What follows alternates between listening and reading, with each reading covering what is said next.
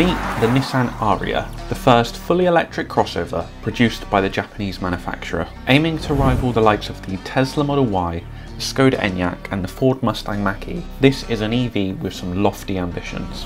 There are two versions of the Ariya to choose from, with two different battery packs. You can have the Advance or the Evolve, both of which come with a 63 kWh battery or an 87 kWh battery pack. You can also have the larger battery with an additional four-wheel drive option called E-Force. We've been driving this 87 kWh Evolve in a warm silver with the pearl black roof to see if it has enough talent to mix it with those established rivals.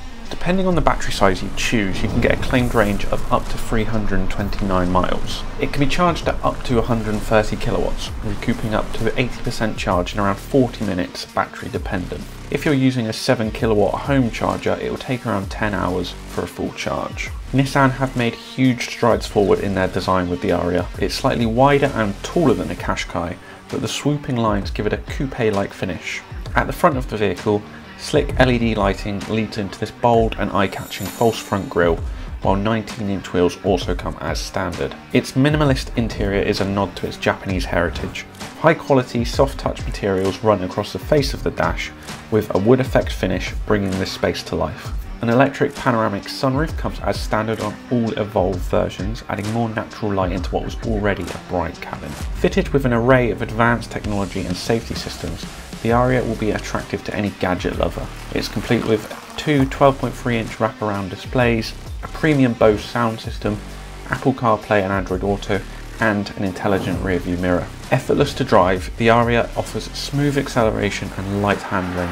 It will take just 7.5 seconds to go from 0 to 60, and that drops to under 6 seconds if you do opt for that E-Force model. It's not as quiet as some of its rivals on the road, but you do have fantastic visibility ahead great comfort levels and a respectable real world range. If you do upgrade to that four wheel drive option, you also get a towing capacity of 1500 kilograms for added practicality. Nissan's designers wanted to create a cozy lounge feel for every drive, and they've certainly delivered that with the Ariya. There's lots of open space, natural light and carpet-like floor mats, putting this among the class leaders for cabin comfort.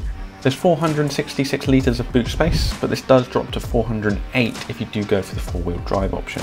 It's a practical enough space with flexible floor options to create the kind of space you need, but there is no front storage option like you have in the Model Y. If you do need more boot space, something like the Model Y or the Volkswagen ID4 are rivals to consider. Prices for the Ariya range from £46,000 and rise up to £59,000 for its range shopping variants. If you would prefer to spread that cost into a more affordable driving experience, leasing an Ariya with Carparison allows you to do just that, with fixed monthly payments and flexible lease terms designed around you. If you would like to know more about a Nissan Ariya lease, please get in touch or visit carparisonleasing.co.uk for more information. If you've liked today's review, don't forget to like and subscribe to see more. Thanks for watching.